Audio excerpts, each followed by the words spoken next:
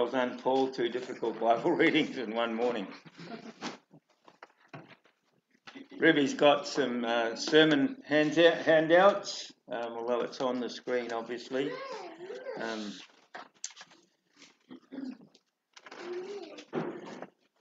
between a bit of a rock and a hard place this morning. We were out at Makero's last night and something came up and Tori goes, but sometimes you're so loud I have to cover my ears. Got up this morning and Nadia said, Ross, you've got to jump about and preach loud this morning to keep me awake. and I, Ruby didn't say anything, but I know what she was thinking. Nadia, don't encourage him. So uh, uh, if I'm loud uh, this morning, Tori, you can blame Nadia, all right? Because she, we kept her up too late talking last night was the problem. And, uh, she was late to bed, well past her beauty sleep time. Not that Nadia needs a lot of beauty sleep. we won't go there. Let's uh, bow in prayer. Almighty God, once again we come to sit under the authority of your word. Pray you would teach those who need teaching, encourage those who need encouraging, rebuke and correct those who need rebuking and correcting, that we might do all for your glory through Jesus our Lord. Amen.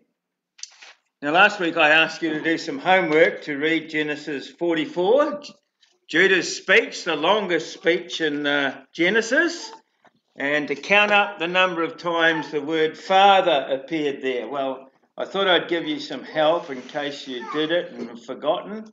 Um, so I said you'd need more than your two hands, so it's not 10. You can rule out A there. Anybody want to take a guess? Did anybody do the homework or they just want to take a guess? 12, 14, or 16 times. Someone speak up. 14. 14, that's right. And uh, that's important, as I said, because remember, children, particularly, uh, you didn't have this story to read like we have it today. If you'd lived back in Moses' time or David's time, that list of names that uh, Paul just read in the genealogy for Matthew. Most of these stories you had to hear and remember. Now, remember, people could read and write. It wasn't that they were dumb and couldn't read and write, it was just there wasn't the availability of the printing press and in our day the computer and all that. So books were rare, um, expensive, and so you learnt things by remembering them and I'm going to come back into this uh, in a, a, little bit, God willing. And and so uh, the stories were told, and key words were important. And when you read that speech of Judah's, 14 times, it's the father, about our father. It's about Jacob, Jacob, the father, the father. You come to this passage. It's an interesting passage, isn't it? It's not the usual passage you'd preach on. It's not the usual passage you're going to have at family devotions and worship and talk about with your children. It's one of the very sad passages in Scripture, uh, full of sin. No, the mention of God is very heavy. Twice the Lord's mentioned, and it's when he kills two of uh, Judah's sons. It's a difficult passage. And some of the commentators, they, they just about jump over this passage. The liberal scholars, of course, say that, that this passage is all in the wrong place. That, that you can't have chapter 37 and then this chapter and then chapter 39. But holding a higher view of Scripture than that, we believe the Holy Spirit's put this passage where it is in the Scriptures because it's part of the story. And remember, the story is the story not of Joseph, but of Judah. And the focus on this chapter of Judah uh, is on Judah, and it's a focus there to remind you that Judah is completely and utterly undeserving of the role he ends up having in the line of the Messiah. And it is about, therefore, God's grace. How God can take a man of Judah, Judah one of the covenant children who sinks into such depths of sin, and his family sinks into such depths of sin that there's two of his sons are so wicked, the Lord literally destroys them. And yet God takes this man and makes him the great great grandfather of the Lord Jesus Christ. It's about God's covenant faithfulness and the triumph of grace over sin. This is a passage that's full of sin, isn't it? It's a passage that's dismal, that's sad, that's heavy. It's about broken relationships, broken promises, hurtful people. You, you particularly get the feeling in the passage that Tamar is hurting here, the, the woman at the center of the passage. What hope is there when you read this passage? Well, it's the hope that God can take anybody's life, no matter how broken it is in sin, no matter what depths of sin they've uh, fallen into, and by grace transform them.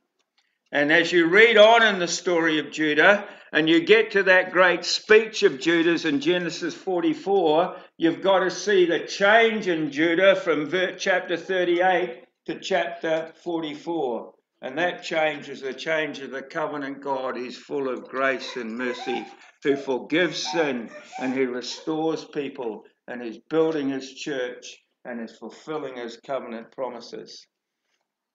At that time, at that time, what time? Well, the time that Joseph has gone down into Egypt.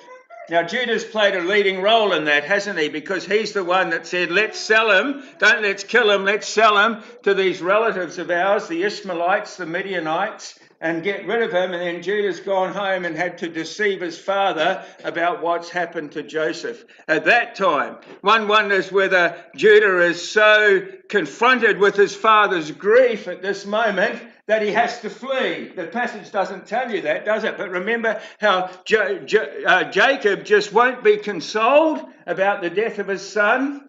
Judah knows he's played a leading part in this, and so what does he do? He departs the covenant family and goes off and uh, lives with the pagans. He left his brothers. Now again, you see the little the little links in this story. What's happened to Joseph? Well, he's left his brothers too, but he's been forced away from his brothers, hasn't he? And his brothers are now in Israel, and he's down in Egypt. Ju- Judah. Joseph didn't leave his brothers willingly, but Judah leaves his brothers willingly. So there's all these little interconnections and plays in the story that you've got to get. Remember again, you're listening to the story, you're not reading it. You've got to pick up on these keys. Notice how quickly time goes, and this is a biblical pattern in the Old Testament in particular for stories. What happens in the biblical narrative, if you think of it like a movie, that there's great chunks of time that happen so quickly. In fact, they're just skipped over, and then suddenly the movie stops. And the, the camera, as it is, zooms in, and you have this narrative, this particular story. Because Judah leaves, and next thing he's married and he's got grown sons. Now, even if the sons were married when they were young, at you know 18 or 20 years of old age, what happens in these first six or seven verses is you have this sudden rush of time, 20 years roughly, covered like that, while Joseph's down in Egypt. And then the story suddenly stops, doesn't it?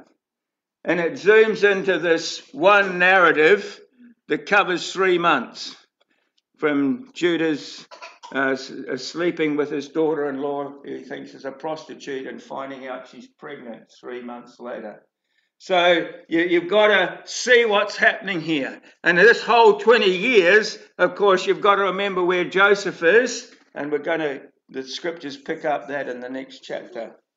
Now go back to this idea again of words and themes in the story. Notice in this whole story, in Jacob's life, going right back to Jacob, how goats keep coming up. And this is part of the way you remember the story, children. Okay, so let's go way back earlier into Genesis. How did Jacob steal the birthright from his son, his brother, rather, Esau? Well, remember, the old fella's dying, old Isaac, and he's just about blind. And he says to Esau, Go and cook me one of your favorite meals. Go out and get a deer or something and some game, because Esau was a hunter. And uh, Jacob's mum, Rebecca, hears and she says, I don't want Esau to get the, the birthright, I want Jacob. So she says, and they go through that plot, you know, and she gets a goat. Kill, they kill a goat and they cook the goat up and they put the skin on Jacob and they put Esau's clothes on him. And when he goes into Isaac, Isaac can't see and he says that the voice sounds like Jacob, but it smells like Esau. And he gives the birthright to Jacob. The goats there used as part of the deception. Here we have a goat in the previous chapter. What is it that's killed? And the robe of Joseph is dipped in goat's blood. And here we have another goat in the story. Well, let's send the. What, will, what would you give me? Tamar says, I'll give you a goat. And so then he sends the goat down and they can't find it. And you get that irony in the story where Judah says, Well, we might be a laughing stock. You know, and, and uh, he's worried about his own ego and his pride uh, and not the sin that he's fallen into. But there's all these links in the story that you've got to follow, not just in the Joseph story, but right through the story of Genesis. And that comes up again here in this story of uh, chapter 38, again, where the deceiver is deceived. This, of course, goes back into Genesis. Who deceived his father to get the birthright? Jacob. Jacob, who's deceived when he gets married? Well, Jacob is, doesn't he? Because he wants to marry Rachel, and Laban tricks him into marrying Leah. And then he's deceived about the death of his son. And here we have Judah, who, like his father, is a deceiver because he's involved at a critical point in the previous chapter to deceive his father about the death of his brother, about Joseph, the death of Jacob's precious son, and now the deceiver is being deceived. And so you, I bring all this up because it's how you need to understand this in the flow of the story, and not just in Genesis, but in other biblical stories. You see it particularly in the story of David and Goliath, where the whole issue is about the heart of the people involved, particularly Saul's heart, King Saul, and King David's hearts. The common themes, if you miss those, you won't understand what the passage is saying. You won't be able to interpret the passage saying, and also uh, understand how it points to Christ.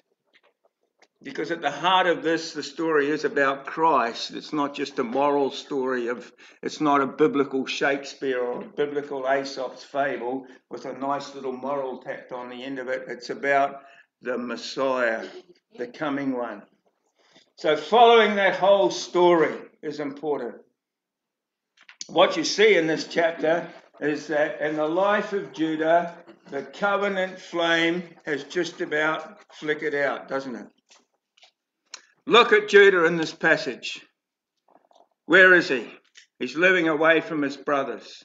Yes, he's still in the promised land, but he's living with the pagans. His closest friend is a pagan who has no covenant promises or no, at this point, inheritance in the covenant or any point in the story. He's married to a covenant uh, woman a, non covenant woman, I should say. He's not even told her name. Do you notice that in the story? It just tells us he got married, and who did she, he marry? He married a Canaanite, a daughter from a Canaanite man, Shua. And you should remember earlier in the story, way back in Genesis 15, God has said that he's going to judge the Canaanites to Abraham because of their sin and their wickedness. And so, what's being told you here is that Judah has basically rejected the blessings and covenant promises that God's given to him through his father and his grandfather and his great grandfather. And to put it in modern language, he's left the church and he's gone off and living with the pagans and he's acting like a pagan. And there's no difference between him who should be a shining light of the covenant God and the pagans living around him. He's pagan in his behavior, he's pagan in his thinking, and he's ultimately come to that point where it seems he's just about totally rejected the covenant promises that God had given. Remember, at the heart of that covenant promise, in terms of the human side, is that uh, command by God in Genesis 17 when God gives the covenant of circumcision to Abraham what? Walk before me and be blameless. That's how Judah's supposed to be living. Judah's supposed to be living as a child of the promise, as a child of the covenant, and holiness and in godliness and in blamelessness. And then you look at what the Holy Spirit says about him in this passage of Scripture, and it's the exact opposite, isn't it? It's sin, it's deception, it's lies, it's wickedness, it's evil. And sadly, any one of us can fall into that same position.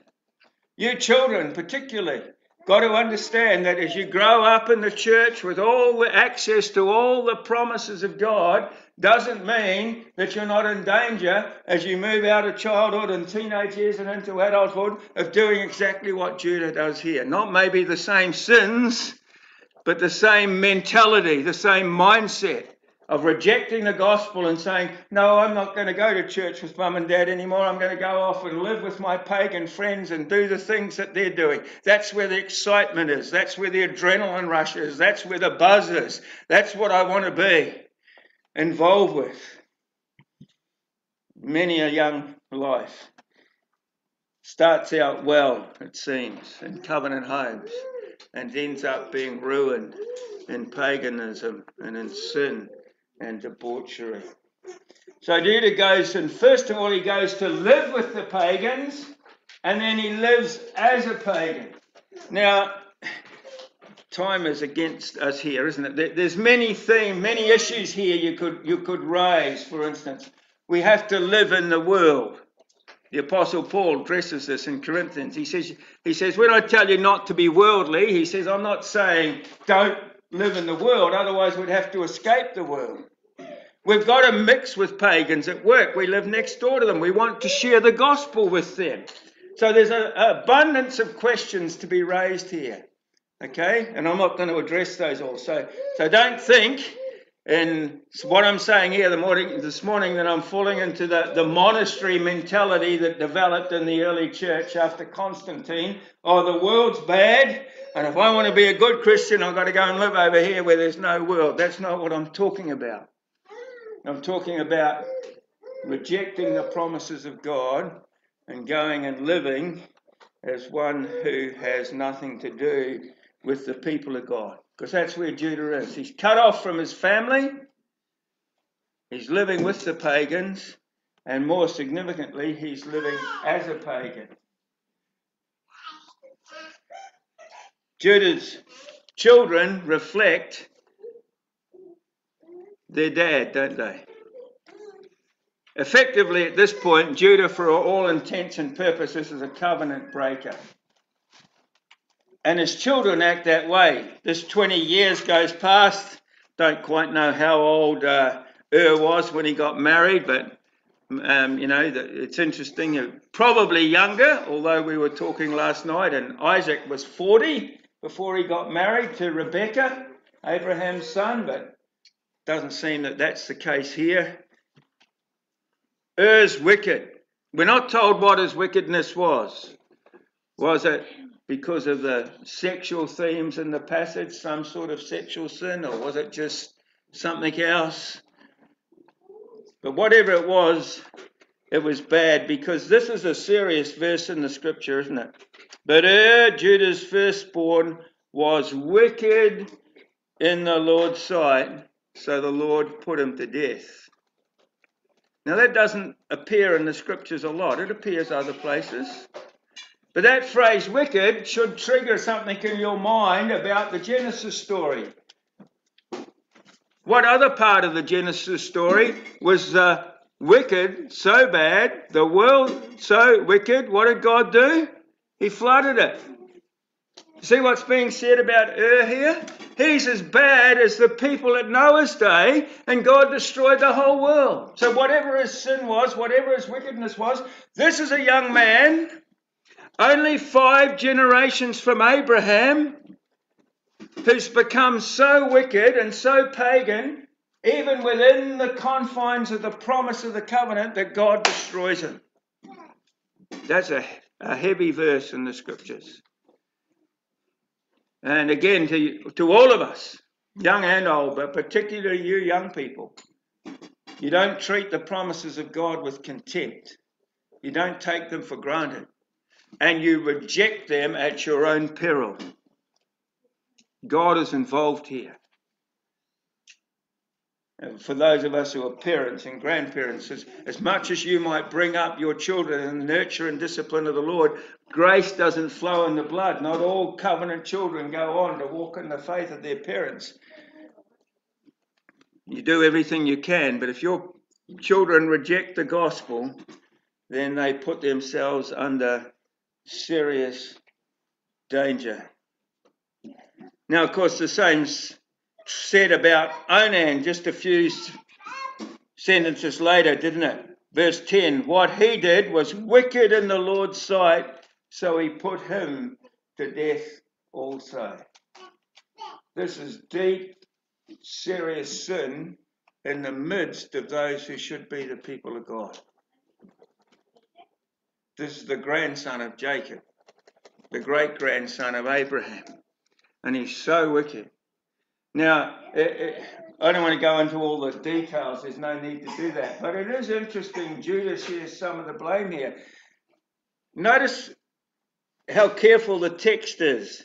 Er, er dies, and Judah says to Onan, Lie with your brother's wife and fulfill your duty to her as a brother in law to produce offspring for her brother. Now, that is, of course, later on enshrined in the law after Moses. But notice what's not said. Did you notice what's not said? He doesn't say marry her. He doesn't say take your brother's widow and marry her. He just says go in and sleep with her. That is, poor Tamar is treated just like a sex object to produce a grandson for Judah's own self gratification. There's deep and difficult things here the, passage needs looking at from Tamar's side and how she's so wrongly treated by Judah in particular in this passage. But is it a surprise that two of Judah's sons are so wicked when their father is setting them such a bad example? Judah's children then are covenant breakers, and God judges them accordingly. But there is, at the end of the story, despite all the sin, a glimpse of hope for Judah. And by God's grace, that hope's going to grow, and, and eventually you get the Judah later in the story, who is such a different Judah and, uh, and seems to be restored to the covenant promises. Go with me to verse 24. About three months later, Judah was told, Your daughter in law Tamar is guilty of prostitution, and as a result, she is now pregnant. Judah said, Bring her out and have her burned to death. Now, nothing about the fact that he's committed uh, adultery by sleeping with a prostitute, just it's all her fault. And so he, she says, Well, who owns these? And then in verse 26, Judah recognized them and said, She is more righteous than I. There's a glimpse of hope there, you see. Judah starts to realize that he's acted wrongly. And that Tamar, who is so badly treated and so wrongly abused in this story, and is, remember, the daughter of a, a, a Canaanite, acts more godly than the child of the promise. You know, that can happen even today. Pagan people can act better sometimes than some of us in the church. Sometimes you find it's better to deal with a non Christian in business than someone who professes to be a Christian. Because the non Christian person, for all their faults and their misunderstanding of the gospel, might at least be a person who keeps their word and doesn't try and shaft you in some way. Now, I think, personally, think Tamar will be in heaven.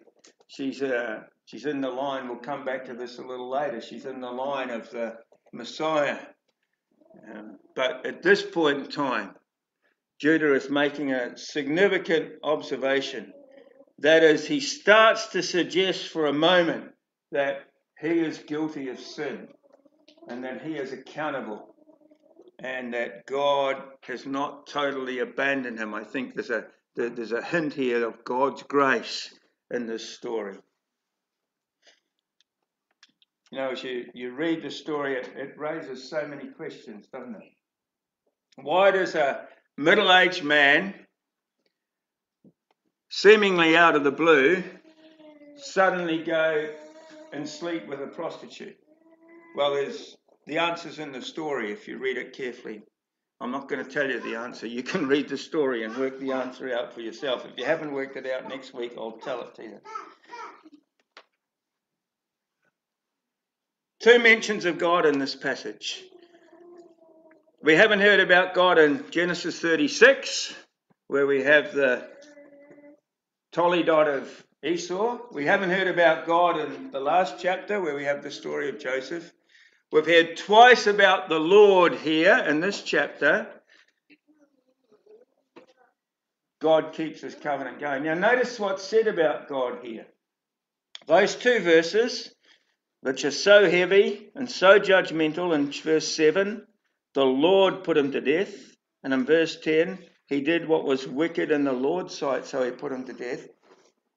The Holy Spirit has carefully chosen the word Lord there. You would actually expect at that point God, the Hebrew word Elohim.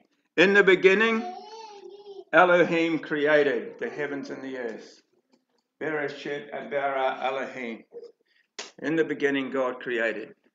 But what's put there is not Elohim, but the Tetragrammaton, the Lord, the special word, you know, that, that even today the Jews won't pronounce. So if, if Paul was in the synagogue when he was reading this this morning, he would have seen in the Hebrew text a little asterisk there, and he would have looked over into the margin, and in the margin is a replacement word, the other Hebrew word for Lord, and he would read that because the Jews still won't try and pronounce the Tetragrammaton. The Tetragrammaton, the Yahweh, is so important because it's the covenant word for God in the Old Testament. And so, right at this moment, it's not just that God, the God of the world, who, who, who deals in one sense with everybody, but this is the Lord, the covenant God. It's, it's locating all of this again for you in the covenant, you see. It's the covenant God dealing with the covenant people, in this case, covenant breakers. There's covenant judgment in the death of Ur and Onan. It's a reminder God is at work. Here's Judah. He's left Jacob for whatever reason, perhaps a guilty conscience. Scriptures don't say that. Be careful of arguments from silence. He's gone off. He's made friends with a pagan. He's married a pagan girl. He's living in a pagan. His actions are like pagans. Where's God? Well, God hasn't abandoned him. In fact, God hasn't abandoned him to the point that God deals severely with his family for the sake of Judah, which is ultimately for the sake of Joseph, which is to keep the people alive for the sake of Judah, for the sake of Christ. There's covenant mercy here. God is keeping Judah to protect Joseph. Sorry, the other way around. God is keeping Judah, and Joseph will provide for Judah so that Judah can be in the line for Christ. Now, the amazing thing is at the end of the story, isn't it? These two children, two boys. She was giving birth, one kid stuck his hand out. So the midwife writes some scarlet thread around him. The Hand goes back into the womb, the other baby comes out first. And so they're given various names. The wonderful thing here is, despite all of Judah's sin, what's happening here? The Messiah is coming. And that's why I got Paul to read that other passage, because when you go to Matthew chapter 1, that story's right there in Matthew chapter 1, isn't it? Judah was the father of Perez and Zerah, whose mother was Tamar. Here is Tamar, who is so poorly treated in that story. She's one of the five women mentioned in the genealogy. Well, Mary's the last one, and she's the mother of Jesus. Four women are mentioned in the genealogy of the Lord Jesus Christ. Tamar's the first one. And it's interesting, of the four women that are mentioned, and one of them's not even mentioned by name, three of them are mentioned in the Bible in bad sexual situations. Tamar here, Rahab, what was she? A prostitute. Uriah, the wife, uh, the wife of Uriah, the Hittite, Bathsheba, she was adulterer. The only one who comes out clean is Ruth, who also was, of course, a Moabite. But you see here God's great covenant mercy.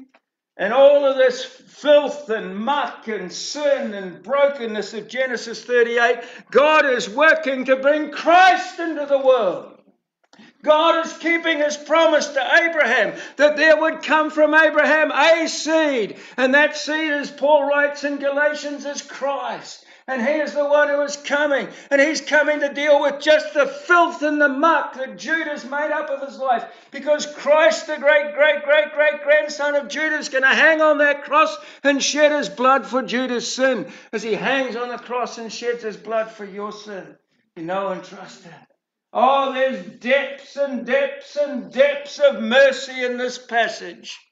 Here's the mercy of God breaking over this passage and beauty and glory and all this filth and this muck that is a sinful world, the glory of God's love and grace and mercy shines through.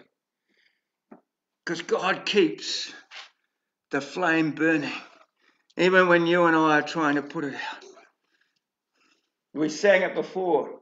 No man can pluck him out of my hand and me out of his hand. I was reading that passage in John 10 this week when Jesus is talking about the sheep and the and uh, uh, the shepherd and the good being the good shepherd. And twice he says in that passage, he says, firstly, no man can pluck you out of my hand, and then no man can pluck you out of the Father's hand.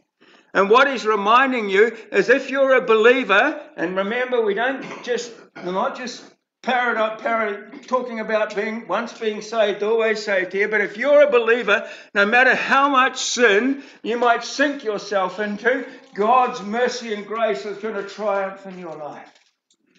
You might fall into the same sort of debauchery as Judah does. But the God of grace and mercy will wrap you up in his love and pick you up out of your filth and put you on your feet. The psalmist says it, doesn't he? Though I fall, though I fall, yet I will not be cast down. You can trip over in the mud.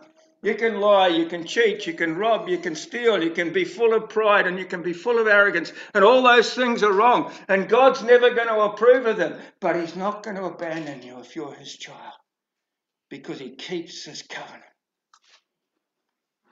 Others around you might fall, but He will keep His covenant. And the wonderful point when you read Matthew chapter 1 and that long list of names that Paul read so well before, and you see Tamar, and you see Rahab, and you see Bathsheba, and you see Judah, and you see David, and you realize that God is winning the battle. God is victorious. And how does it end at that passage in verse 17 there? The Messiah has come. He's, he's come, he's arrived. Through all this sin and through all this failure and through all this long story and through all the tragedies and through all the mess and through all the failure, the, the going into captivity because of the wicked people's wickedness and sin and the destruction of the temple and everything else, what comes through? God wins. God is victorious. Christ reigns. And the blood of the Lamb is able to deal with all that filth before the cross and all the filth after the cross. Because in heaven, there's only righteousness and holiness and beauty and truth. It's a triumph of grace over sin. It's what the Holy Spirit writes for the apostle, isn't it, in Romans 5? Where sin did abound, grace superabounding. Oh, Genesis 38 is full of sin, wickedness, evil. Tamar is absolutely treated like dirt. God triumphs. You look at Genesis 38 and it seems as though Satan's winning, doesn't he? Covenant promises are broken. People are hurt, people are abused, people are judged, people die, young, young men die because of their sin. Satan seems to win. God has a greater purpose, and that is that out of this sin should come the Messiah. And that very Messiah who is from this line of sin is the one who triumphs over sin. His blood is shed to deal with that sin. Not just Judah's sin, not just Tamar's sin, but she does sin by playing the role of a prostitute, but your sin to cleanse, to forgive, to restore, to take home from heaven. Let us bow in prayer. Almighty God, we thank you that in the midst of this sad, sorry, sinful saga that is Genesis 38, you are working. You are working for the coming of your Son. You worked for the coming of the Son, and as we look back from this side of the cross, we see the victory, the triumph that came out of chapters like this. We thank you for Christ, O oh Father. We thank you that He did what Judah failed to do, that He has done what we have failed to do, and that, Lord Jesus, your blood alone cleanses us from sin, takes us to heaven. And Lord, while we'll be interested to see Judah there and Tamar there and many others there, in the end our focus will be taken up with the Lamb, the one who is the Lord of glory. And we bow in your presence, worship you. Amen.